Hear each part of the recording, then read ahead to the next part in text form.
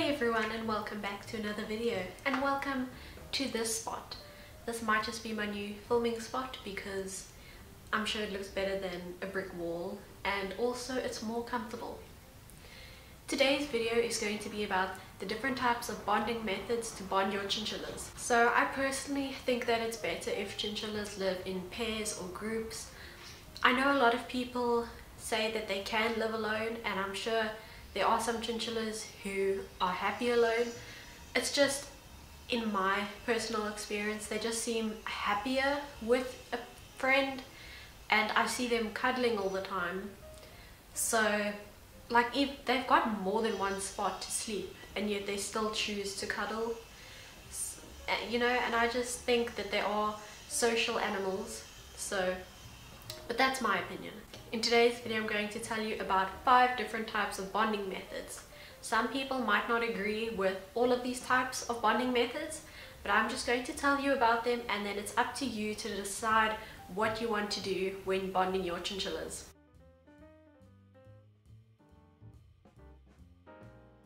The five different types of methods I'm going to be telling you about is the cage side-by-side -side method, the cage within a cage method, the smush method, the car ride method and the playtime introduction method.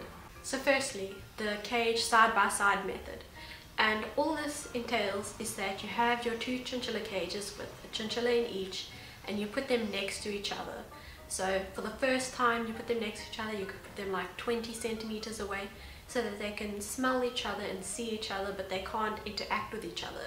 Then after a few weeks you can move them like 10 centimeters next to each other and then maybe eventually you can go so that the cages are almost touching but not quite touching just in case that they can try and bite each other through the bars. Once the cages have been next to each other for a while and you see that there is no aggression or anything then what you can also do is try and swap the chinchillas in their cages. You can put the one in the other one's cage and swap it like that. This might stress your chinchilla out a bit and after you've tried this cage side-by-side -side method for quite a while, quite a number of weeks, you can try and introduce it, them during a playtime and see how that goes. And if that goes well, then you can introduce both of them into one of the cages. Just make sure that the cage is completely cleaned, new bedding, try and you know wipe the cage down so it doesn't smell of any one of the chinchillas. And also you could maybe rearrange the cage just a little so that when you introduce both chinchillas you don't have one that is territorial over it you know and aggressive to the other one. The next method is the cage within a cage method. So what you're going to need for this is your one big cage and then one smaller cage.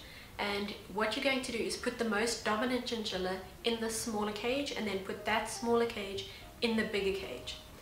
Just remember when doing this to put something on top of the smaller cage so that if the other chinchilla jumps on top of the smaller cage that the chinchilla inside the small cage can't bite its toes you know through there.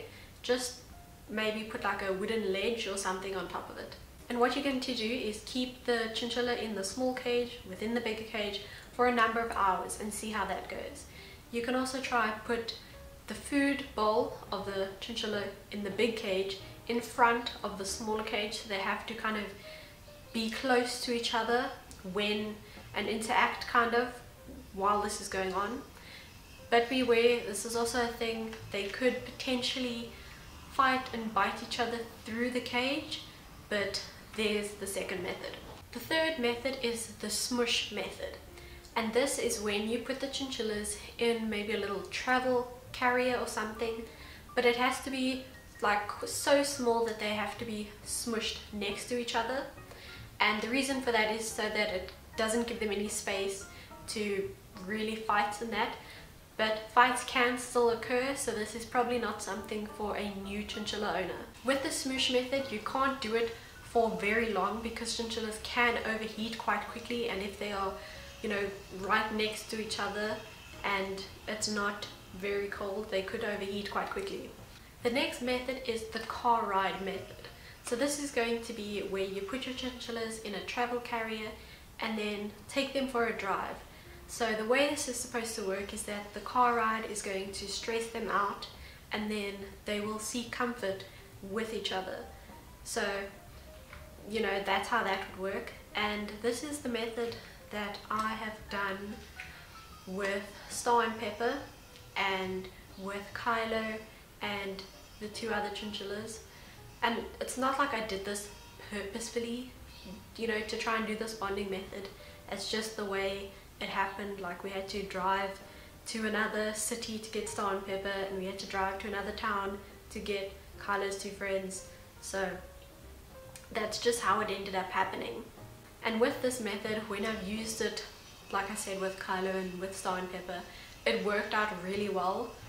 I don't know if that's just because, you know, Kylo's a really chilled chinchilla, so he's fine with it. And then also, Star and Pepper were really young as well, so they kind of bonded immediately. There was no signs of aggression at all when we put them together initially, like even before the car ride. So just keep that in mind. Also, you can't do this just by yourself. You'll need someone else in the car just in case they do start fighting and then you need to separate them. And you can do the car ride for maybe about half an hour. Also, after this, when you get home, you can try put them in a smallish cage together if you have one and see how that goes. And then if it's okay, then you can put them in their final big cage or you can try and put them in their final big cage and see how it goes. Um, just make sure that cage is clean like I've said with the other methods you know make it nice and clean so that it's not one chinchilla is territorial over the other method. Also you could try doing the cage side by side, side method before you do this car ride method. The next method is the playtime method and this is the method that most people like to use because they consider it to be the least stressful method and therefore you know it's kinder on the animals. But essentially you're going to have to have to remember that by stressing them out it's kind of um, the faster way to do it. You know if you want to do the very slow method that you know that's perfectly fine. I'm just telling you about all these methods and it's up to you to decide which you want. And the playtime method is essentially just when you know the chinchillas have their own cage but then during playtime, you know, when you let them out to run around in a chinchilla proof room, you know, no wires or anything, then, you know, they can interact that way and slowly they can introduce each other. You may want to put like a sand bath in the room so then they, you know, chinchillas always go to the sand baths first so they could interact that way. Or you could put out some wooden toys in that, that's also a good idea. Try not to put anything like houses little, you know, wooden houses and that so they hide in it because you need them to interact. And you'll start off doing short amounts of time, maybe 5 to 10 minutes at first, and then you can increase it as you see slight progress. With this method and with any of the methods, it's going to be common if you see fur flying everywhere and see a bit of, you know, fighting and that kind of signs of aggression. Sometimes the one will spray urine onto the other one. With the fur flying in that. As you might know, a chinchilla's defense mechanism is to do a fur slip where they kind of release some fur to get away from predators. So that is something that can happen quite common during bonding sessions and you don't have to worry too much about that. It doesn't hurt the chinchilla to do it and it's not like it's going to affect them so much. You know, they've got so much fur, a little fur slip won't do too much harm. Is signs of fighting and that what you can do, you just, you kind of don't separate them the instant it starts. You can let it go for a few seconds and then if you see that, you know, one is going to be seriously injured, then obviously separate them. But you are going to have to let them sort out their differences and also kind of sort out the dominance and the ranking. So those are the five methods and, you know, choose which one you think will, will work for your chinchilla and it also depends on the personality of your chinchilla. For example, Star is the most dominant and aggressive chinchilla and while she is bonded to Kylo, we absolutely cannot bond her with anyone else. Also, I've got Rosie and Daisy and I've been trying to bond them with um, Bubbles and it's been rough. I've tried the um, playtime method and it's not working the greatest. Um, then I've also put Bubbles in the cage with um, Rosie and Daisy and essentially what happens is Bubbles will pick a, pick a spot and then she'll kind of defend herself in that spot. Also their cages have always been next to each other so that's a slow process. Um, I don't know, it doesn't really look like they want to be friends even but I'll let you know how that goes. So thank you everyone for watching. I hope you found this useful and hopefully you can be successful in bonding your chinchillas. Thank you so much for watching and I'll see you in the next video. Bye!